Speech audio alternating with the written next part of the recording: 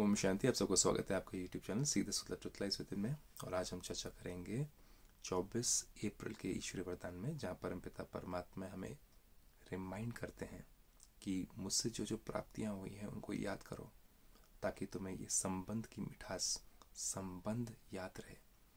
और जब हमें किसी रिलेशनशिप में कुछ प्राप्तियाँ होती हैं तो प्राप्ति को याद करने से वो रिलेशनशिप भी मीठा लगता है, प्यारा लगता है। तो देखिए, परमात्मा से हमें क्या प्राप्ति हुई है?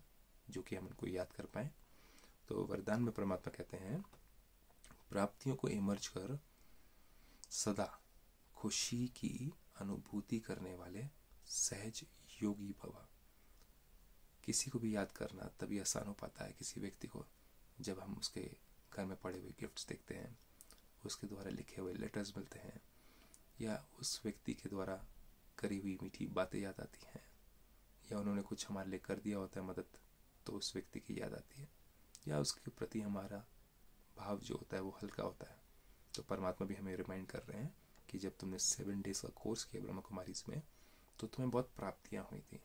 तुम्हें सत्य ज्ञान मिला था। तो तुम्हें बहुत सारी अनुभूतियाँ हुई थी। उनको याद करो ताकि और कंपेयर करो कि तुम्हें क्या मिला था। ताकि तुम्हारा योग लगना मतलब कि मेडिटेशन होना परमात्मा की याद सहज हो जाए।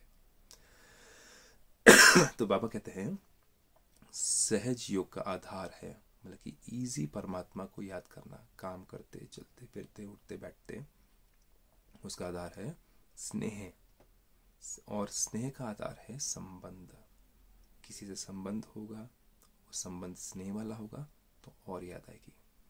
फिर बाबा कहते हैं, संबंध से याद करना सहज होता है। संबंध से ही सर्व प्राप्तियाँ होती हैं। किसी भी आपका संबंध होता है तो आपको लेन देन होती है, आदान प्रदान होता है तो वो लेन देन में ही आपको प्राप्तियाँ होती हैं। कुछ संबंध होते हैं जिसमें कि आपको बहुत प्राप्तियाँ होती हैं तो वो आपको ईजिली याद आता है। तो यहाँ पर तो कहते हैं, जहाँ से प्राप्ति होती है मन बुद्धि वहाँ सहज ही चली जाती है। तो वही व्यक्ति याद आता है ना, जिसने आपके हर घड़ी हर सेकंड आपको मदद करी हो, आपके लिए रहा हो, आपको हर चीज़ प्रोवाइड करी हो जब आपको ज़रूरत पड़े।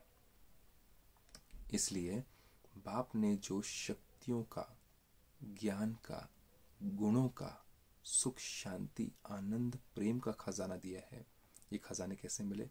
जब हमने सात दिन का कोर्स किया, पहला ज्ञान मिला कि आप आत्मा हो, आप शरीर नहीं हो, आप कभी मरते नहीं हो तो सबसे पहले जो डर इंसान को इनसिक्योरिटी का मर जाएँगे।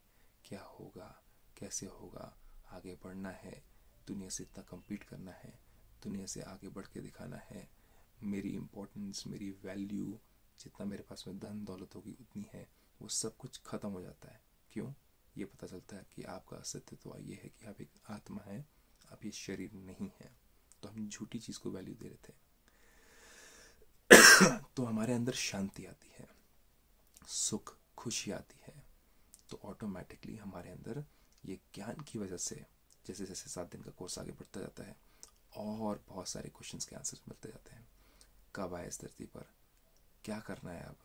कब इस धरती को छोड़ के ऊपर परम धाम जाना है? दुनिया कौन से समय में चल रही है? दुनिया में जो दुख चल रहे हैं, उनका निवारण क्या है? घर में जो अशांति है, उसका निवारण क्या है? स्वस्थ कैसे रहना है? खान पान क्या होना चाहिए?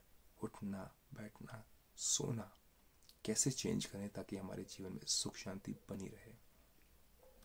जब ये सेवन डेज़ का हमें कोर्स में सारा ज्ञान मिलता है, तब जाकर के हमारे अंदर ये सारी प्राप्तियाँ होती हैं। तो परमात्मा इन्हीं चीज़ों को याद दिला रहे हैं। बाबा कह रहे हैं, गुणों का, सुख शांति, आनंद, प्रेम का खजाना दिया है। जो भी भिन्न भिन्न प्राप्तियाँ हुई हैं, उन प्राप्तियों को बुद्धि में इमर्ज करो। कि सेवन डेज़ का कोर्स किया, फिर आगे बढ़े और ज्ञान में गहराई में गए तो क्या क्या प्राप्तियाँ हुई? उनको इमर्ज करो तो खुशी की अनुभूति होगी और सहज योगी बन जाएँगे। क्योंकि प्राप्ति याद करी तो किसने दिया? ये सब कुछ ज्ञान किसका? अपना नहीं ना, परमात्मा का। खुशी कैसे मिली? ज्ञान से मिली। किसने दिया? परमात्मा ने। तो उनको याद करना आसान हो जाएगा। तो जिन लोगों ने सेवन डेज़ का कोर्स किया है, उनको ये बात और गहरी समझ आ रही होगी। जिन्होंने नहीं किया है आप जाकर के सेवन डेज़ का कोर्स करें, आपको भी समझ आ जाएगा कि ये कहा क्या जा रहा है।